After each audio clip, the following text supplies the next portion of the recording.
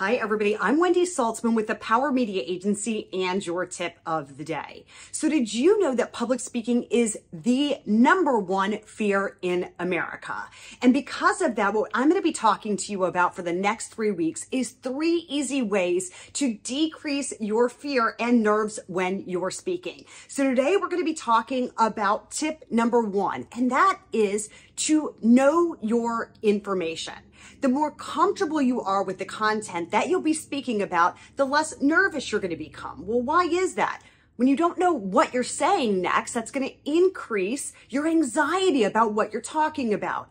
So for your number one tip, in order to decrease your nerves when you're speaking, make sure you know your content backwards and forwards, especially your open and your close. If you know you're open, you're going to be able to start on a roll that's going to make you more comfortable as you're speaking. And you want to make sure that you close with a bang. So practice your open and close in advance of any speaking speaking.